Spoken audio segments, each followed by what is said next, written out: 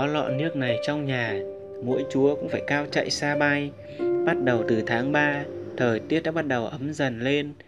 Tuy nhiên, lại kéo theo kiểu thời tiết nóng và nồm ẩm, dễ làm cho con trùng thuận lợi, sinh sôi nảy nở, đặc biệt là muỗi. Nó là mầm mống gây ra những bệnh như sốt xuất huyết và các bệnh truyền nhiễm nguy hiểm, đặc biệt đối với trẻ nhỏ. Hãy tìm đến giải pháp hoàn hảo này để đuổi muỗi và không phải lo lắng bất kỳ mùi khó chịu gì, thậm chí còn mang đến hương thơm dịu dàng và có công dụng trang trí nữa. Những gì bạn cần để thực hiện biện pháp đuổi muỗi thân thiện này là lọ thủy tinh, vài nhánh cây hương thảo, chanh, chanh xanh hoặc sao vàng. Bạn cũng có thể dùng cả hai loại chanh, tinh dầu xả tinh dầu khác có thể đuổi mũi như Lavender, phong lữ hoặc chanh. Nến tròn có thể nổi được trên nước. Cách thực hiện đầu tiên rửa sạch bình và các nguyên liệu như chanh, nhánh cây hương thảo, cuộn tròn nhánh cây rồi đặt dưới cùng của lọ. Sau đó đổ nước lạnh vào khoảng 3 phần tư lọ. Mỗi lọ thêm khoảng 10 giọt tinh dầu xả bạn cũng có thể thêm vào những loại tinh dầu khác có tác dụng đuổi muỗi như đã đề cập ở trên. Sau đó, cắt vài lát chanh để nguyên vỏ rồi cho vào trong lọ. Giờ thì lọ nước đuổi muỗi của bạn đã hoàn thành rồi đấy. Bạn cũng có thể để lọ nước ở bất kỳ khu khu vực nào trong nhà như phòng khách, nhà bếp, phòng tắm hay phòng ngủ vừa có thể đuổi muỗi vừa có thể dùng để trang trí nữa. Vào buổi tối, bạn cũng có thể cho nến vào trong lọ rồi đốt lên. Nến sẽ giúp lương tỏa tỏa hương, mùi mạnh mẽ, sẽ hiệu quả hơn trong việc đuổi muỗi nến sẽ giúp lọ nước. Bạn cũng có thể thay mới lọ nước sau 4 đến 5 ngày và nếu thấy nhánh cây hương thảo chanh vẫn còn tươi, bạn có thể cho thêm vào lọ vài giọt tinh dầu xả. Thứ hai, mẹo chống muỗi trong mùa nồm ẩm theo cách dân gian. Một vài nghiên cứu đã cho thấy rằng loài muỗi không thích mùi bạc hà, mùi của vỏ quýt, mùi lá đinh hương hay mùi hoa vải hương. Cha mẹ có thể sử dụng vỏ quýt, lá bạc hà hay những loại hoa trên phơi khô. Sau đó bỏ vào túi lưới và để vào các góc trong gian nhà của mình. Cách làm này vừa có thể đuổi muỗi, ngăn muỗi đến gần bé yêu nhà bạn, hơn nữa lại có thể làm không khí trở nên trong lành, dễ chịu. Nhiều bà mẹ thích dùng phương pháp nhỏ một vài giọt tinh dầu chanh hoặc tinh dầu quýt vào trong nước tắm của con. Cách làm này cũng rất hiệu quả vì nó có thể làm cho da của bé luôn có những mùi hương mà mũi không thích. Tuy nhiên, nếu chú ý nên chú ý không được bỏ không được nhỏ quá nhiều vì như vậy có thể gây kích ứng cho làn da nhạy cảm của bé. Nhỏ tinh dầu hoa oải hương lên ga trải giường cũng là cách được nhiều mẹ sử dụng. Nhưng tác dụng của phương pháp này không kéo dài, thường chỉ 1 đến 3 giờ. Thứ ba, sử dụng lưới chống muỗi mùa hè là thời điểm muỗi phát điện, phát triển và sinh sôi rất nhiều. Nếu người lớn không chú ý, bé có thể bị muỗi đốt. Nguy hiểm hơn, có thể bị mắc bệnh, lây nhiễm khi bị muỗi đốt. Cách tốt nhất để bảo bảo vệ bé đó là bạn hãy sử dụng lưới chống muỗi thêm vào đó, hãy dọn khu vực xung quanh nhà và rác vôi bột để muỗi không còn nơi cư trú. Người lớn nên chú ý giữ vệ sinh ngay trong nhà và cả khu vực sân vườn. Có thể dùng lưới chống muỗi chặn ở các lỗ thông gió hay cửa sổ để ngăn côn trùng. Khi bé không ở nhà, người lớn hãy dùng thuốc xịt muỗi và phun vào trong gầm giường các ngóc ngách trong nhà đặc biệt đặc biệt là khu vực phía sau các tủ. Tuy nhiên, vì mùi thuốc này không tốt cho bé nên người lớn cần chú ý chỉ cho bé về nhà khi trong nhà không còn mùi thuốc và không khí hoàn toàn trong sạch để đảm bảo sức khỏe cho bé yêu. Theo nghiên cứu của các chuyên gia thì chính nhiệt độ cơ thể cao cùng lượng axit lactic có trong máu đã thu hút muỗi. Hơn nữa, vào mùa hè, mồ hôi cơ thể toát ra nhiều, càng dễ khiến bé bé bị muỗi đốt. Để bé yêu được an toàn, người lớn cần nhớ phải thay quần áo và tắm sạch sẽ rồi mới được bé bé yêu. Thứ tư, vài mẹo vặt đuổi muỗi. Hiện nay, tình hình thành phố xuất hiện nhiều muỗi và dịch sốt xuất huyết hoạt động khá mạnh. Xin giới thiệu với bạn mấy cách đơn giản để bắt và đuổi lại côn trùng này. Cách bắt muỗi Thứ nhất, cho 5 đến 10 ml nước đường hoặc bia vào chai, lắc mạnh rồi đặt ở, ở nơi nhiều muỗi. Ngửi thấy mùi này, muỗi sẽ bay mà không biết đường ra. Thứ hai, bật máy hút bụi.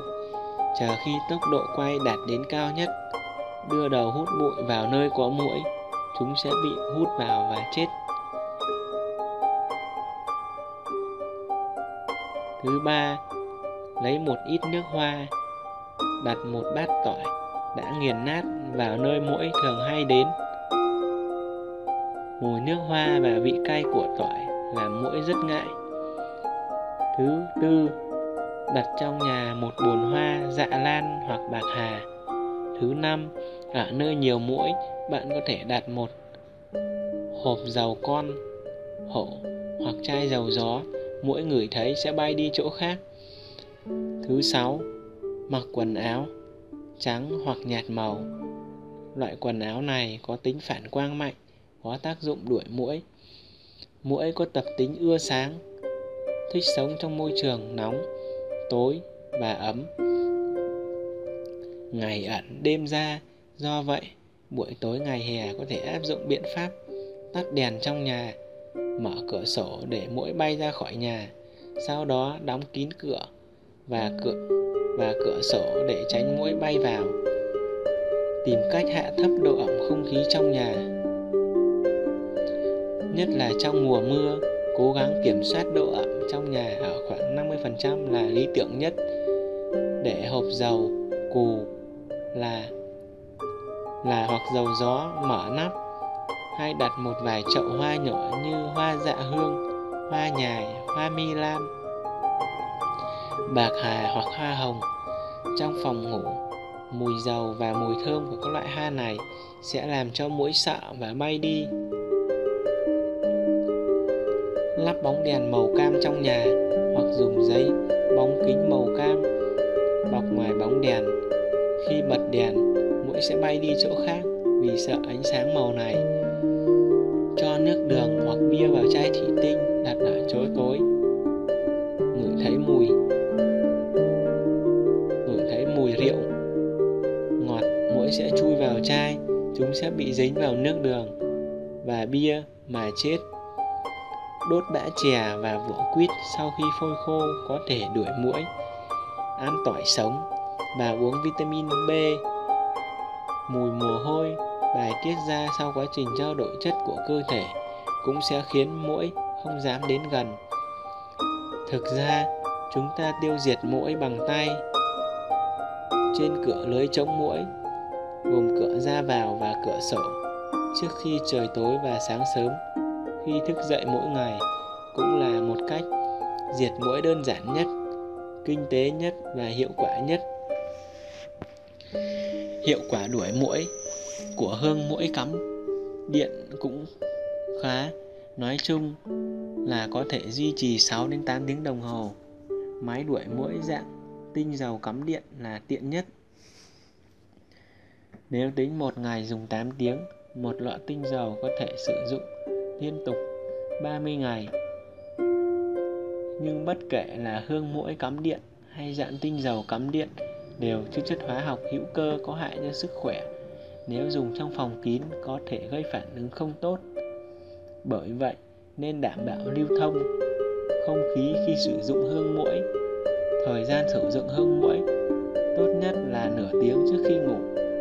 Chuyên gia giới thiệu sử dụng đèn bắt mũi không gây ô nhiễm.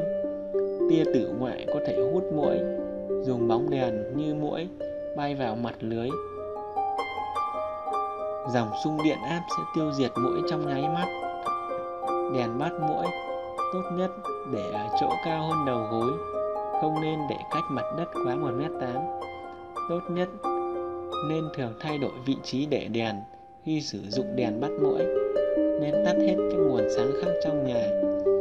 Vì nếu bị nhiễu bởi các nguồn ánh sáng khác, muỗi không thể cảm nhận được ánh sáng của đèn bắt muỗi, làm giảm hiệu quả diệt muỗi.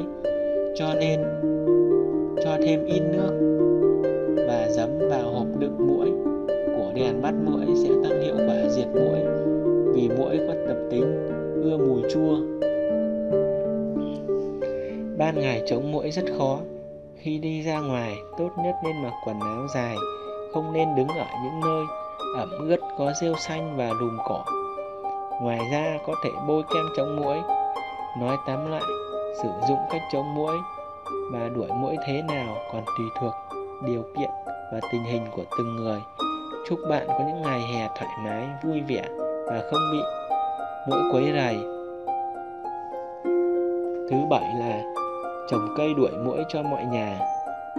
Thật khó chịu khi bị muỗi đốt hay nghe tiếng muỗi vo ve bên tai. Không cần xịt thuốc mà muỗi vẫn chết. Thật đơn giản, ngay hôm nay, bạn hãy thử trồng cây ngũ ra bì trần chim. Cây sẽ giúp bạn góp phần cải thiện môi môi sinh. Cây ngũ ra bì chân chim, hay còn gọi là chân chim, sâm nam, cây chân vịt. Trong đông y, dùng vỏ cây phơi hoặc sấy khô là vị thuốc. Trong đông y, dùng chữa tê thấp, đau nhức xương. Dược điển Việt Nam năm 1983 đã ghi nhận điều này. Trong thực tế, những người sống ở vùng ẩm thấp thường trồng cây này trong vườn nhà, quanh tường, vừa làm cây cảnh, vừa có tác dụng trừ muỗi, rất tiện lợi.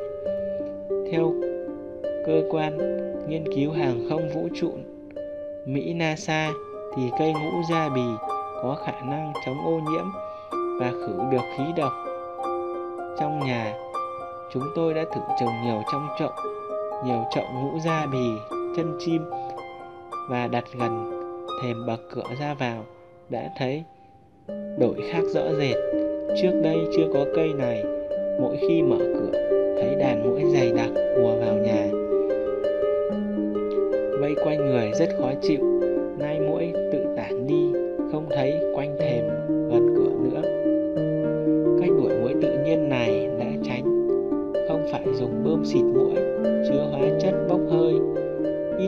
có độc hại, lại không mất công tốn tiền mua thuốc.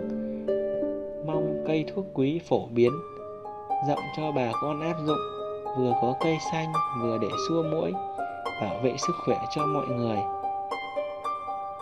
Cây xả đuổi mũi, chuẩn bị những dụng cụ này nhé. Vài nhánh xả tươi còn gốc, cốc hoặc lọ đựng, cách làm. Bước 1. Cắt bỏ phần ngọn của nhánh xả sao cho toàn bộ nhánh xả dài khoảng 15cm ngâm xả vào nước rồi để nơi thoáng mát có ánh sáng mặt trời Bước 2. Sau khoảng 2 ngày, bạn sẽ thấy xả bắt đầu ra rễ và sau khoảng một tuần thì lá sẽ bắt đầu đâm ra. Bước 3. Các bạn chú ý, cách vài ngày thì thay nước một lần nhé. Cứ làm như vậy thì sau khoảng 2 tuần, nhánh xả của bạn sẽ ra đủ rễ và lá để có thể trồng thành cây. Bước 4. Trồng cây xạ vào đất trong khoảng 2 đến 3 ngày đầu. Các bạn chú ý tưới đẫm đất để cây nhanh thích nghi được với môi trường mới. Đến tuần thứ ba là cây sẽ bắt đầu phát triển bình thường rồi. Chỉ sau một tháng thôi là bạn đã có một cây xạ nhiều lá đấy.